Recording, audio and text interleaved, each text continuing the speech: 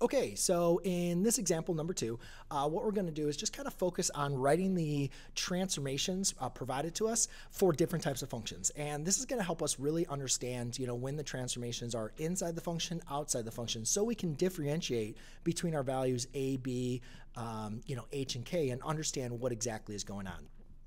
Now, I'm actually going to skip this first example because this one actually, I'm going to come to this last. This one actually, um, as I'm teaching this, I think kind of makes, even though it's a simple function, it actually kind of gets a little bit more confusing as far as understanding, um, as far as transformation. So let's go back to that last. Let's work on this one. Now, when doing these problems, what I like to do is kind of uh, understand what is inside the function. And what we can do is rewrite each one of these functions with kind of like parentheses. So inside the function is going to be what's going to be cubed, right? So we have this vertical stretch. That means we're multiplying by 3 outside of the function. We have this horizontal shift, which is subtracting a 2 inside the function. And then we have this vertical shift, which is adding a 1 outside the function. And all we want to do is just apply those transformations to the cubic function. So to do that, all I'm going to do is say y equals, I need to multiply by 3 on the outside. I'm going to subtract a 2 in the inside and then plus 1. And you can see this function is going to, the transformations here would be the exact same transformation there, it's just the function got changed. For e to the x, the inside of the function is going to be the power. So I'll write that as y equals e to the power, and I'm going to just put that in parentheses for us to understand what's inside the function. So we need to multiply this function by a 3. Oops, don't want to put parentheses there. And then we need to subtract a 2 inside the function and then add a 1 outside the function. And that's how that would look. For the sine, the inside of the function is going to be the sine of x, right? So we could think of this as y equals sine of x. All right, so the x is going to be inside of the function. So to rewrite this with the transformations, it would be y equals 3 times the sine of x minus 2 plus 1. All right, so let's uh, let's go ahead and work on here in the next one. So on this next one, now I'm multiplying uh, by a negative, and the inside of the function, I have 2x plus 1, which is a horizontal shift of uh, 1 half to the left. Make sure you understand that. And we have a vertical shift of 1 down, which I think I said, yeah, 1 half units to the left. Good.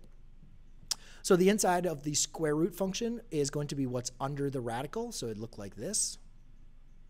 Okay, so we're multiplying by negative on the outside, it would be negative oops. so it'd be y equals a negative square root of 2x plus 1. Now you can put that in parentheses if you want to, but since it's under the radical, we kind of understand now that it's outside. And then I'm going to close that radical like that so we know that the 3 is on the outside. For the cube root, it's going to be the exact same thing um, as the square root. It's just have it has a different index. So y equals the cube root of x. So therefore, I just write that as y equals cube root. Oops, sorry, that's a negative, right? Multiplying by a negative on the outside. So it's not a negative 3. That's multiplying by negative. Index is cube root 2x plus 1 minus 3. Now we have a logarithm, y equals ln of x. Again, the inside of the function is going to be ln of x. So this would be y equals the ln of x so we're going to multiply that by a negative on the outside. And then on the inside, it'd be 2x plus 1, which is your horizontal transformation, and then it's minus 3 on the outside. And a lot of times it's important when you're dealing with the logarithm um, or with the trigonometric function to make sure once you enter something inside that we put it in parentheses. See, when we don't have anything else, we don't need to put parentheses around the cosine of x. We can just assume that the x is on the inside because um, obviously it has to be a function of a variable. But once we add, you know, some more letters or numbers or expressions, a lot of times we like to put them in parentheses just to make sure we can distinguish them between what's inside and what's outside. Um, so this example, the last example is y equals negative cosine of 2x plus 1 minus 3. All right, let's look at the last one, then we'll go back to our answer here. Uh-oh. All right, so the next one is an absolute value function. Sorry if I kind of wrote the squared. I'm going to change that to an absolute value. Um, so inside the absolute value is, again, going to be what's inside of our function. So y equals absolute value of our x. Now let's actually go back to our function here. So this one we actually have to identify the transformation. So it says, given the transformation of the horizontal stretch, a factor of one third. So let's actually write out the function. Um, so this would be f of x. All right, so if it has a horizontal stretch, that means inside of the function, I am going to have one third of x. It's a reflection about the y-axis, that means my b is going to also be negative and a vertical shift. So my graph is going to look something like this, a negative one-third x, and then a vertical shift up 3. So there is nothing on the outside of the function. I'm not multiplying anything on the outside. Since it's a horizontal stretch, it's inside. Since it's a reflection about the y-axis, it's inside. And then since it's a vertical stretch, it's going to be outside. Okay? So now all I'm simply going to do is apply that operations to each of these functions. So y would equal, uh, let's see, absolute value of negative one-third x plus 3. In this case, um, now this one can kind of get a little confusing, so we'll manipulate this a couple times. Um, inside the function is going to be what's in the denominator, y equals 1 over x. So we can rewrite this as y equals a 1 over negative one-third x plus 3. Now this is where it gets kind of confusing, and this is what I wanted to bring up with the linear equation.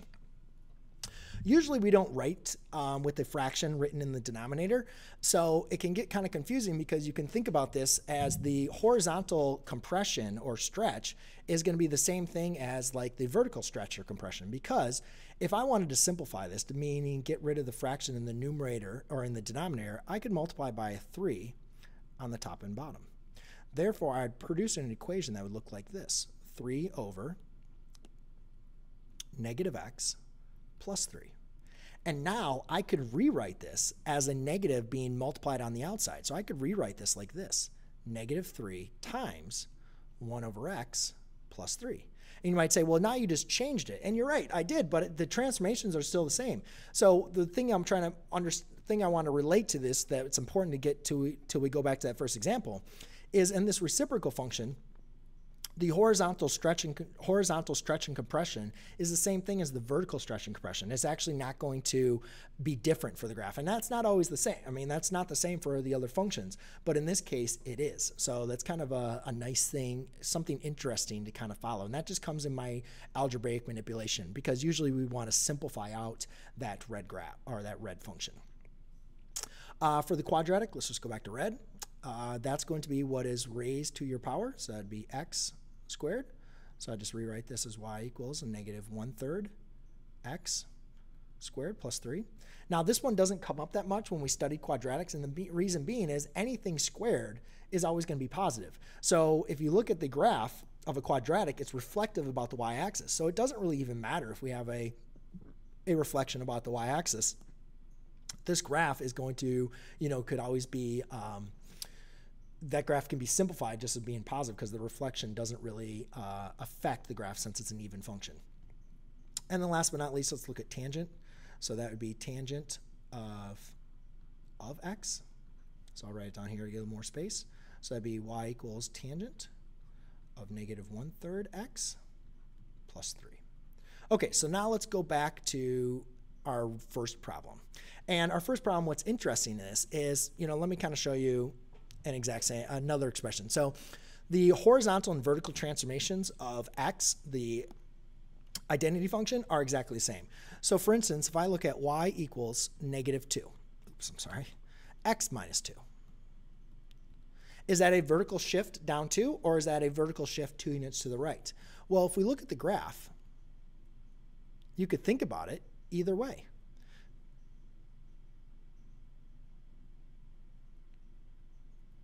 Because here's my identity graph, right? The identity graph looks something like that. So if you shift the graph two units to the right, that's the same thing as shifting the graph two units down. So when I'm combining two different transformations, I'm just to like add them up. So I'm doing two units to the right, and then I got to also add one. So really what I have is y equals x minus 1. And then I need to apply my vertical transformation. So my answer is going to be y equal, or I'm sorry, my vertical stretch. So y is going to be 3x, which a vertical stretch is going to be the same thing as the horizontal compression. Um, and so therefore I'm going to multiply that by 3. And then this would be uh, minus 1. Because if you take a look at this graph, let's just use one more. If I take this graph being shifted 2 units to the right and then up 1,